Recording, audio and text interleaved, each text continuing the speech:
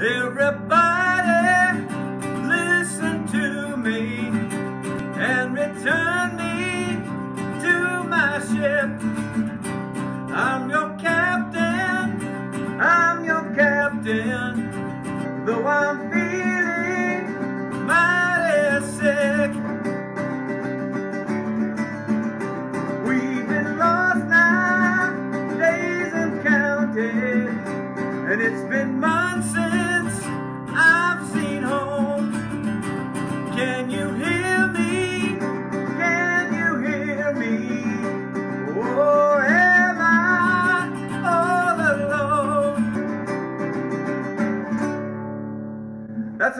section of a song, I'm Your Captain, Closer to Home.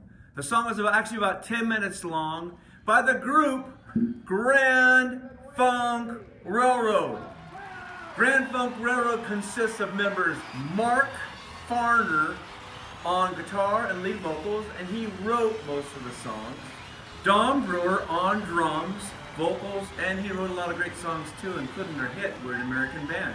And Mel Schacher on bass. Prepare yourself for a great adventure as we explore and talk about this great American band. Whereas the 1960s gave rise to supergroups such as the Beatles, Jimi Hendrix Experience, Cream, and Creedence Clearwater, the 1970s exploded with supergroups, and Grand Funk Railroad fit that category. Hailing from the city of Flint, Michigan, Mark, Don, and Mel, and later Craig Frost, who joined the group to play keyboards in the mid-1970s, formed the group in 1969. They derived the name Grand Funk Railroad from an actual railroad that ran through Flint, Michigan called the Grand Trunk Railway. Uh, here's a bridge overpass of the railroad and it looks like someone has marked out the Grand Trunk Railroad and put in honor of the band Grand Funk. And above you can see the names Mark, Don, and Dennis. Not sure who Dennis is, but I believe he has something to do with this prank.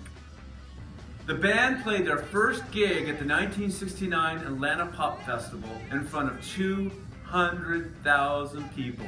Can you, can you imagine playing your first gig as a band in front of 200,000 people? Well, they did, and they were so well received. Soon after, they signed a recording contract with Capitol Records. In August 1969, the group released their first album, Grand Funk Railroad on Time. The album was a huge success and sold millions. In February 1970, the band released their famous Grand Funk Red album, followed by their third record, in June 1970, Closer to Home. So that's three albums released in one year. That's unheard of by today's standards.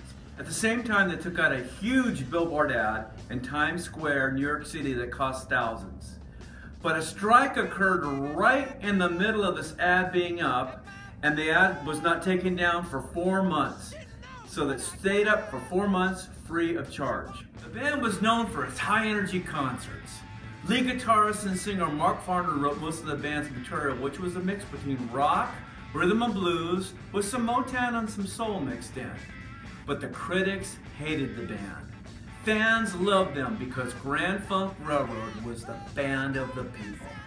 In mid-1971, the band was booked to play New York's Shea Stadium. 70,000 tickets went on sale and were sold in less than 72 hours, faster than the Beatles. Here's a cool collage of all the Grand Funk records. Actually, it's a quilt someone put together. I guess you can purchase online. So let's go through all the Grand Funk records in chronological order, beginning with On Time, followed by the Grand Funk Red album, that's their second album. Closer to Home, that's their third record.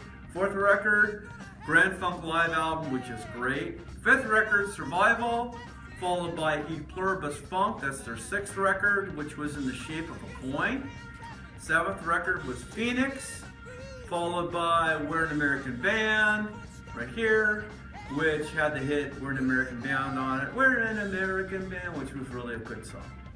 Followed by Shining On, and that was followed by their second live album, Caught in the Act, and All the Girls in the World Beware, Born to Die, and their final record, Good Singing, Good Playing. Good singing, good playing, Grand Funk Rock and Roll.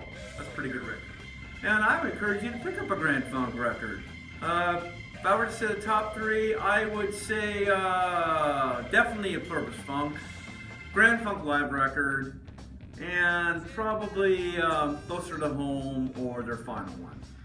All of them were pretty good, but some were better than others. As I mentioned earlier, Grand Funk Railroad started out as a trio with Mark Farner, Mel Schacher, and Don Brewer. In the mid 1970s, they added their friend Craig Frost on keyboard, which really rounded out the sound. This group has sold over 25 million records in their career. And the big question is, why have they not been inducted into the Rock and Roll Hall of Fame? There's no reason. We can only hope that this will happen sometime in the future.